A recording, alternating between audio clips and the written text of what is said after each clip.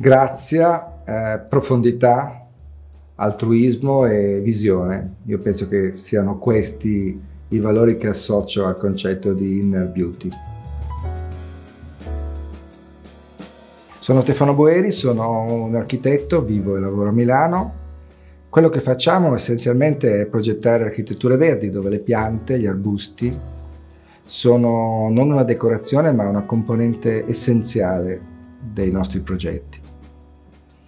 Io credo che le città vadano pensate come degli organismi, come degli organismi viventi dove insieme agli alberi, alle piante, gli umani, i volatili convivono e questo deve essere un modo nuovo di pensare all'ecologia urbana, alle città come ecosistemi. Dobbiamo in qualche modo guardare il futuro sapendo che ci sono alcune grandi sfide nelle nostre città. Le città sono le maggiori produttrici di anidride carbonica, cioè sono la prima causa del surriscaldamento globale del pianeta.